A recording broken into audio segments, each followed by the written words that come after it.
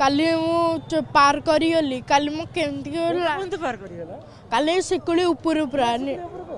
ଆଁ? ପୁରା ଶିକୁଳି ଉପରୁ।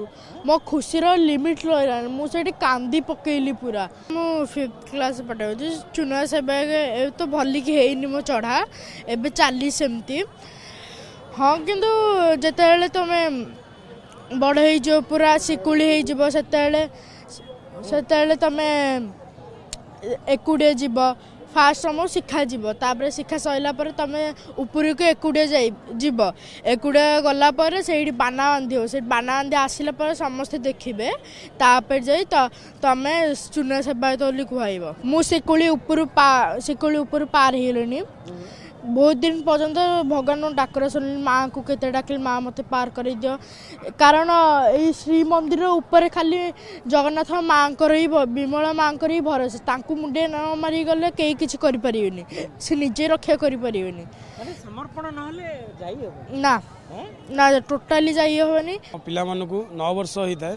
ତାକୁ ମହାପ୍ରଭୁଙ୍କର ଆଶୀର୍ବାଦ ମା ବିମଳାଙ୍କ ଆଶୀର୍ବାଦରୁ ତାକୁ ଶ୍ରୀମନ୍ଦିରକୁ ଆଣି- ଅଣାଯାଇଥାଏ। ତେଣୁ ପ୍ରତ୍ୟେକ ଲୋକ ପ୍ରତ୍ୟେକ ସେବା ପ୍ରତ୍ୟେକ ସେବାଙ୍କର କିଛି ନା କିଛି ଭୂମିକା ଥାଏ ପ୍ରତ୍ୟେକ ସେବାରେ କିଛି କିଛି ନିୟମ ଥାଏ ଯେ ଆମର ଆମ ସେବାରେ ବି ବହୁତ କିଛି ନିୟମ ଅଛି। ଆଉ ଆସ୍ତେ ଆସ୍ତେ ପ୍ରକୃତ ମଝି ଦୌଳ ଆସ୍ତେ ଆସ୍ତେ ଚଢ଼ିଥାଏ ତେଣୁ ଛୋଟ ପିଲା ଥାଏ ତେଣୁ ଅଧିକ ପ୍ରେସର ତାକୁ ଦିଆଯାଏ ନାହିଁ। ସିଏ ତା ମନରୁ ତା ହୃଦୟରୁ ମା ମା ବିମଳକୁ ସ୍ମରଣ କରି ଆସ୍ତେ ଆସ୍ତେ ଆସ୍ତେ ଆସ୍ତେ ଆ, ବ- ଆମର ବଡ଼ ମନ୍ଦିର ମୁଖ୍ୟ ମନ୍ଦିର। ମୁଖ୍ୟ ମନ୍ଦିରରୁ ବେଶୀ କଠିନ ହୋଇଥାଏ। ଯେଉଁ ଆପଣ ଯେଉଁ ଚେନ୍ଟା ଦେଖୁଥାନ୍ତି ଯେଉଁ ଯେଉଁ ଚେନ୍ର ଯେଉଁ ସମ୍ମୁଖ ଭାଗ ଗୁଡ଼ାକ ଯେଉଁ ହଲିଥାଏ ମାନେ ଯେଉଁ ପବନ ଧକ୍କାରେ ଯେଉଁ ହଲିଥାଏ ନଅ ବର୍ଷ ଶିଶୁ। ଯେମିତିକି ଘରେ ଗୋଟେ ଆଠ ବର୍ଷ ନଅ ବର୍ଷ ପିଲା ବି ଯଦି ଆ, ତିନିତଲା ଉପରୁ ପଳେଇଲେ ତା ମା ହ- ଛାନିଆ ହେଇକି ଦୌଡ଼ିକି ଭିଡ଼ି ଆଣେ ତଳକୁ ଆ ବୋଲି। କିନ୍ତୁ ସେଇ ମା ଜଗନ୍ନାଥଙ୍କ ଭରସାରେ ଏତେ ବଡ଼ ମନ୍ଦିର ଉପରକୁ ଛାଡ଼ିବା ଆଉ ଭରସାରେ ଏଇଟା ଛୋଟ କଥା ନୁହଁ। ତେଣୁ ମା ସବୁ ସବୁ ପଛରେ ଆମ ମହାପ୍ରଭୁଙ୍କର ହାତ ଅଛି ସବୁ ପଛରେ ମହାପ୍ରଭୁଙ୍କ ସେବା ଇଏ ଆଶୀର୍ବାଦ ଅଛି। ଭୟରେ କିଛି ବାତାବରଣ ନାହିଁ ଏଠି। ୟାର ପ୍ରୋବ୍ଲେମ ଚେନ୍ଟା ହେଉନଥିଲା କାହିଁକିନା ବଡ଼ିଟା ଟିକେ ୱେଟ୍ ଅଛି ଚେନ୍ ହେଉନଥିଲା।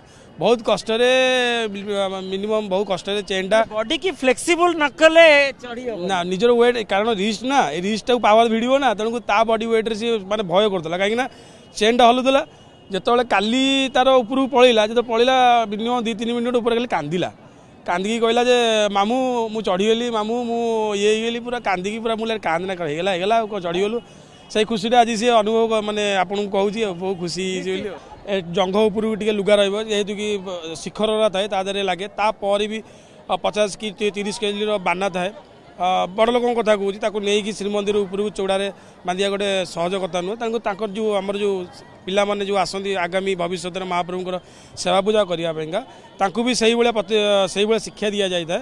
ଆସ୍ତେ ଆସ୍ତେ କେମିତି କାହିଁକି ନା ଦେଖନ୍ତୁ ଆପଣ ବଡ଼ ମନ୍ଦିରକୁ ଯିବେ ବଡ଼ ମନ୍ଦିରକୁ କେବଳ ଏତିକି ଏତିକି ହିଁ ମାତ୍ର ଦୁଇ ଇଞ୍ଚରୁ ଅଢ଼େଇ ଇଞ୍ଚ କାଳେ ହାତ ରହିବ ଆଉ ପାଦ ବି ସେଇ ଦୁଇ ଇଞ୍ଚ ଅଢ଼େଇ ସେଇ ଦୁଇ ଇଞ୍ଚ ଅଢ଼େଇ ଇଞ୍ଚରେ ବ୍ୟାକ୍ ସାଇଡ଼୍ରେ ଏମିତି ହାତ ପୁରେଇକି ଆସ୍ତେ ଆସ୍ତେ ଆସ୍ତେ ଆସ୍ତେ ନିଜର ବଡ଼ିକୁ ୱେଟ୍ ନିଜର ବଡ଼ି ୱେଟ୍ ନେଇକି ଆସ୍ତେ ଆସ୍ତେ ଆସ୍ତେ ଆସ୍ତେ ଉଠ ଉଠନ୍ତି ମହାପ୍ରଭୁଙ୍କ ସ୍ମରଣ କରିକି ନର୍ମାଲି ପବନ ଚାଳିଶରୁ ପଚାଶ ବେଗର ସେଠି ପବନ ରେଲି ବୋଇଥାଏ କାରଣ ସେଠି ଏ, ଗୋଟେ ମାନେ ଗୋଟେ ଗଡ଼ାଣିଆ ଟାଇପ୍ର ଯିବାକୁ ପଡ଼େ କାହିଁକିନା ଷ୍ଟେଟ୍ ହେଲା ମାନେ ଆପଣଙ୍କୁ ପବନ ଧକ୍କା ଦେଇଥାଏ ତେଣୁ ଇଏ ଗଡ଼ାଣିଆ ଟାଇପ୍ର ଥାଏ ଆଉ ବହୁତ କଷ୍ଟ ହୋଇଥାଏ। ଉପରଟା କାରଣ କ'ଣ ଧରିବାର ଇଏ ନଥାଏ। କେତେ ଫୁଟ ଚଉଡା। ପାଖାପାଖି ପନ୍ଦର ଫୁଟ ଦଶ ଫୁଟରୁ ପନ୍ଦର ଫୁଟ କ'ଣ ଚଉଡ଼ା ଘଣ୍ଟାଟା ହବ ଚଢ଼ା ହବ ଟପ୍ ଚଢ଼ିଲେ ଆଉ ତମର କିଛି ଧରିବାକୁ ପଡ଼ିବନି କାରଣ ଗୋଡ଼ ହିଁ ତମେ ଛନ୍ଦିକି ରହିବ ଆଉ ପବନର ବେଗ ଯେତିକି ତୋଡ଼ଉଥାଏ ତମ ପେନ୍ ମାନେ ଗୋଡ଼ର ଷ୍ଟାମିନା ମାନେ ସେତିକି ମାନେ ହାଲକା ହାଲକା ହେଇଥାଏ କାହିଁକି କାହିଁକି ନା ଗୋଡ଼ ପେନ୍ ତା ଯେଉଁ ଶିର ପଶିରାଟା ପୁରା ଭିଡ଼ି ଥାଏ ପୁରା ଟୋଟାଲ ତାପରେ ଯଦି ବର୍ଷା ହେଇଯାଏ ତ ଆପଣ କୁହନ୍ତୁନି ସେ ଆସ୍ତେ ଆସ୍ତେ ଆସ୍ତେ ଆସ୍ତେ ଚକ୍ର ଉପରେ ଯେଉଁ ଗୋଡ଼ ରୁହେ ସେ ଆସ୍ତେ ଆସ୍ତେ ଆସ୍ତେ ସ୍ଲିପ୍ କରେ ଏ ସେ ସ୍ଲିପ୍ କରିବା ଭିତରେ ଆପଣ ବାଉଁଶକୁ ଡାଉନ୍ କରି ଡାଉନ୍କୁ ଆଣିବା କଥା ସେଇଟା ମାନେ ଆ, ସେଇ କଠିନ। ବର୍ଷାରେ ପିଲାମାନଙ୍କୁ ଆମେ ଛଡ଼ା ଯାଇନି କାରଣ ବର୍ଷାରେ ବହୁତ ସ୍ଲିପ୍ ହେଇଯାଏ ପାଦ ରାଗ। କାରଣ ଆମେ ଜାଣିପାରନ୍ତିନି ବୋଲି କୋଉଠି କୋଉଠି ଗୋଡ଼ ରଖିବା ପାଇଁ ଆମେ ଇଏ କରୁନୁ।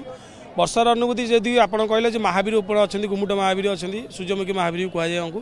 ସେ ଗୁମୁଟ ମହାବୀର ପ୍ରତ୍ୟେକ ସଂକ୍ରାନ୍ତିରେ ମହାପ୍ରଭୁଙ୍କର ମାଜଣା ହୁଏ ନୀଳଚକ୍ରରେ ବି ମାଜଣା ହୁଏ। ଆଉ ଚୁଆ ଚନ୍ଦନ କର୍ପୂର ଆଳତି ଏ ସବୁ ନେଇକି ମହାପ୍ରଭୁଙ୍କର ପ୍ରତ୍ୟେକ ସଂକ୍ରାନ୍ତିରେ ମାଜଣା ହୁଏ ଗୋଟେ ବଡ଼ କୋଡ଼ିଏ କୋଡ଼ିଏ କିଲୋର ପାଣି ଯାଏ ବେକରେ କେମିତି ଗୋଟେ ବେକରେ ବନ୍ଧା ହେଇକି ଯାଏ ସିଏ ବି ଗୋଟେ ନିଆରା ପରମ୍ପରା ମହାପ୍ରଭୁ ଜଗନ୍ନାଥଙ୍କର ଆଉ ଆଗେ ବି ଏଇଭଳିଆ ଚାଲିବ।